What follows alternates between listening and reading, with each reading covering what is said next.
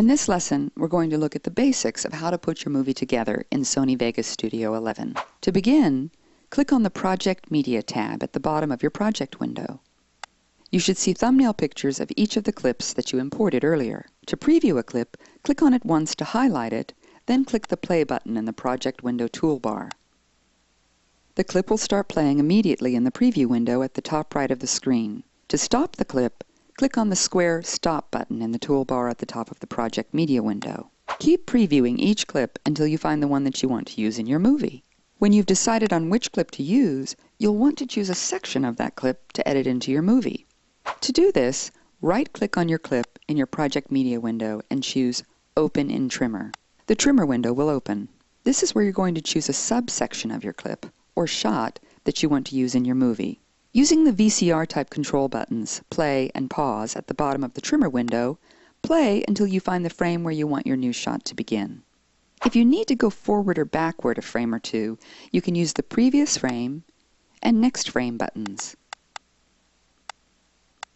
Once your playhead is on the frame where you want your new shot to start, press the I button on your keyboard. This is known as a mark in point, and a yellow left pointing triangle should show up right where your playhead is. Next, you'll need to select the out point, or the frame on which your new shot ends.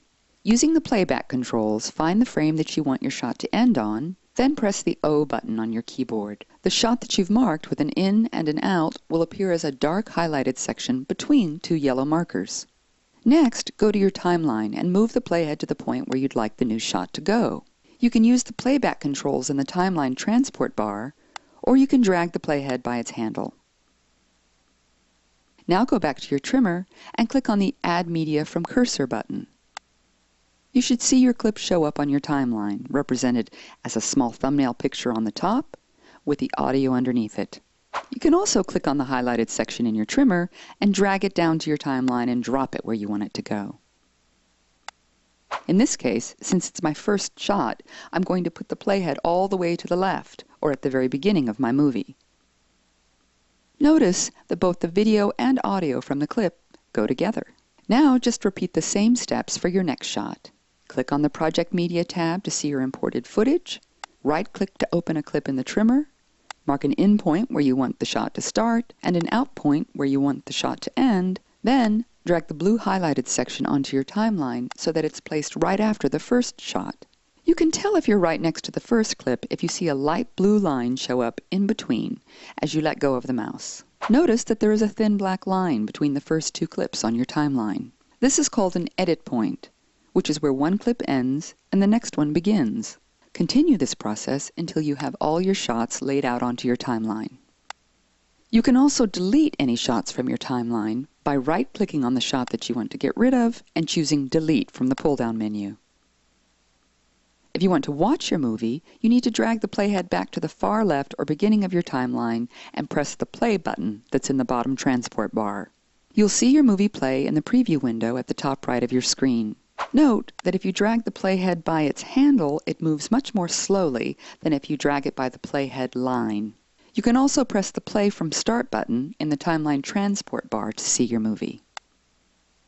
So far, we've been laying out our clips or shots onto an empty timeline using what's called a punch-in edit.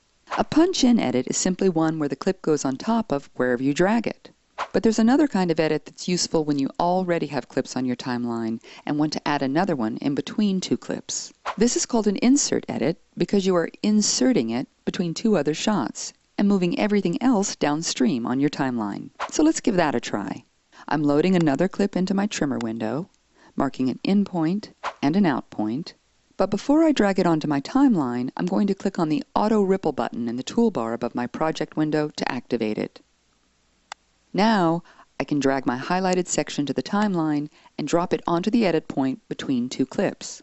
Remember, you can tell if it's on the edit point if you see a light blue line there. After I drop it in, the new shot is in between the other two shots and has pushed everything else downstream on my timeline. So those are the basics of editing clips onto your timeline with Vegas Movie Studio 11. In the next lesson, we're going to learn how to trim clips once they're already in the timeline.